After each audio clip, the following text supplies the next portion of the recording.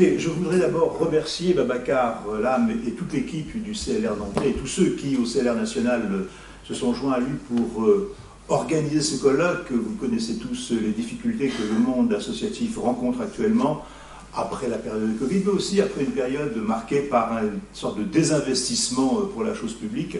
Euh, les remercier tous, parce qu'effectivement aujourd'hui, les militants de cette qualité se font de plus en plus rares, et si on veut aller au terme de notre projet politique, il faudra bien réussir à en séduire d'autres. et puis je vous souhaite la bienvenue à mon tour, la bienvenue, et vous en, guise d'introduction, pour ceux d'entre vous, rares je suppose, qui ne connaissaient pas le comité laïcité et république, vous en dire quelques mots. C'est dans les années 90, euh, à propos donc de cette fameuse affaire du voile, que naît euh, le comité laïcité république. À sa création, il comptait parmi ses membres euh, des personnalités comme Maurice Agulon, Louis Astre, Pierre Berger, Henri Caillavet, Jean-Pierre Changeux, Fanny Cotenson, Régis Debray, Alain Finkielkraut, Catherine Kingsler, Albert Bémy, Beth Roudy, Elisabeth Badinter, Patrick Kessel en fut donc euh, le fondateur. Cette association, dès le départ, s'est donnée comme vocation principale la promotion de la laïcité dans le débat public, la défense de la loi de séparation, la dénonciation de tous les accommodements, de toutes les atteintes à la liberté absolue de conscience, et la défense aussi contre toutes ces approximations qui viennent altérer le principe de laïcité en y adjoignant un qualificatif quel qu'il soit. L'universalisme et la raison, bien sûr, sont au fondement de l'action du CLR depuis sa fondation. Ces actions se sont déclinées en colloques, comme celui qui est organisé aujourd'hui, parfois en région, parfois sur le plan national, euh, en général. L'Assemblée nationale nous, héberge. Qu'en sera-t-il pour les prochains Je n'en sais rien, avec euh, l'ouverture de, la campagne pour les présidentielles. Colloques, interpellation de la puissance publique, lorsqu'il me semble qu'un projet de loi menace les principes mêmes de la laïcité, participation à des débats, action pédagogique, et là, il nous reste beaucoup à faire. Nous décernons par ailleurs chaque année un prix de la laïcité pour mettre en valeur des personnalités françaises et étrangères pour leur action en faveur de la laïcité. Cette cérémonie a lieu à l'Hôtel de Ville. Georges Bensoussan, Poilem Sansal, Tania de Montaigne, Gilles Clavreul, Samuel Mayol, ici présent, Isabelle Adjani, Natalia Baliato, Crèche Babilou, Caroline Fourest furent, entre autres, lauréates de ce prix. Elisabeth Badinter, quant à elle, a été présidente du jury de la première édition, et notre ami Charles fut président du jury en 2012. Nous avons une déclaration de principe qui est accessible sur notre site. Nous avons créé des délégations territoriales, comme celle de Nantes, aujourd'hui euh, à l'origine de ce, colloque. Alors ce colloque, ce colloque, nous l'avons qualifié de national, parce que nous souhaitons, euh, à partir de ce colloque, déclarer à nouveau notre attachement viscéral à l'universalisme.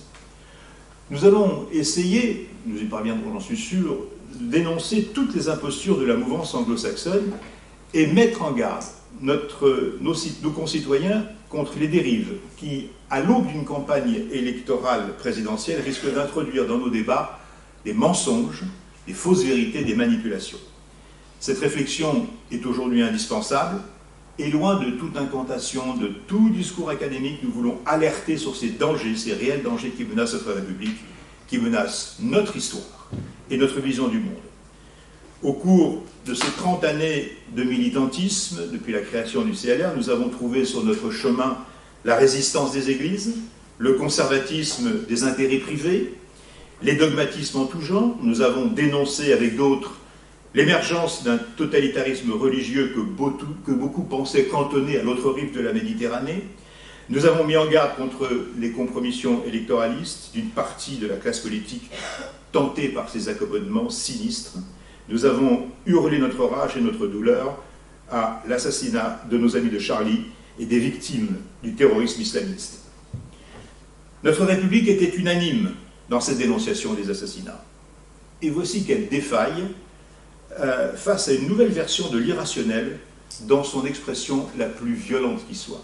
Il y avait la violence des mises à mort au nom d'une vision archaïque de notre humanité. Et voici qu'aujourd'hui, nous avons une violence toute nouvelle dans l'invitation qui nous est faite à renoncer au progrès de la raison et de l'universalisme des valeurs, nous invitant à un retour à une vision tribale de notre société.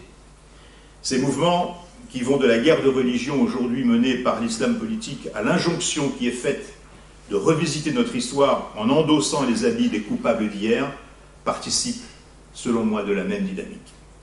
Les uns prétendent reprendre le cours d'une histoire suspendue depuis plusieurs siècles, les autres veulent abolir les progrès d'une pensée qui a su se dégager des dogmes en tout genre, qui plus est, en prétendant se fonder sur une lecture, pour certains d'entre eux, des travaux de ceux, des, intellectuels qui ont animé la vie intellectuelle de notre République dans les années 70. Alors, je suis de cette génération euh, qui a baigné dans l'œuvre de Michel Foucault, son histoire de la folie, son histoire de la prison, celle inachevée de la sexualité.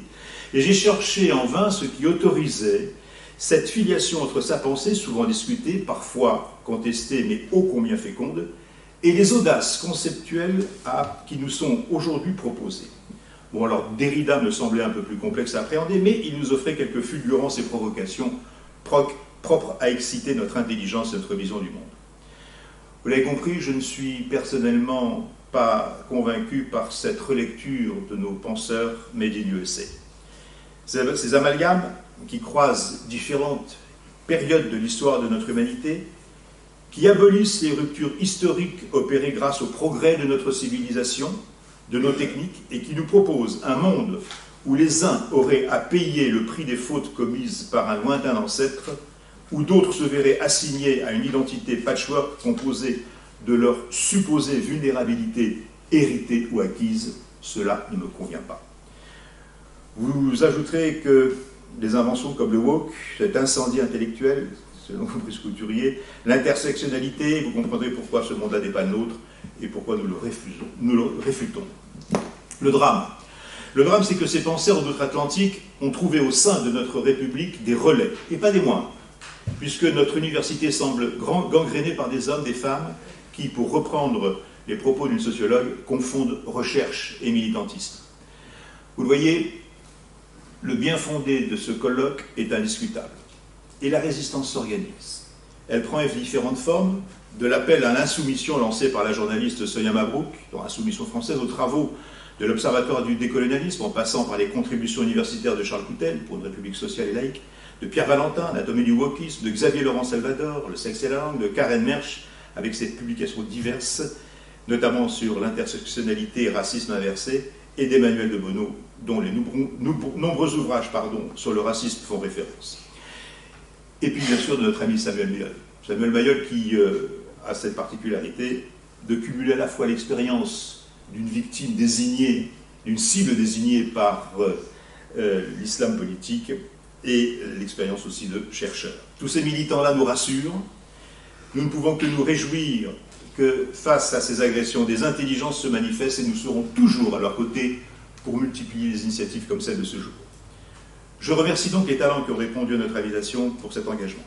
Nous allons avoir besoin d'eux longtemps encore pour mettre un terme à cette offensive que nous avons sans doute eu tort de laisser se développer. Ce colloque se déroulera donc en deux temps. C'est notre ami Charles Coutel, vice-président du CLR, philosophe du droit et membre de l'Observatoire du décolonialisme, qui aura la mission de nous rappeler le rôle émancipateur de l'universalisme, un universalisme aujourd'hui menacé. Le second temps sera celui de l'analyse critique des, attaques subies par cet universalisme, et nous entendrons dans ce cadre, dans un premier temps, Xavier Laurent Salvador, maître de conférence en langue et littérature du Moyen-Âge, cofondateur de l'Observatoire du décolonialisme et des idéologies identitaires. Nous prendrons ensuite un temps pour débattre avant de donner la parole à nos autres intervenants que je vous présenterai par la suite. Mon cher Charles, c'est à toi. Merci beaucoup. Cher Gilbert.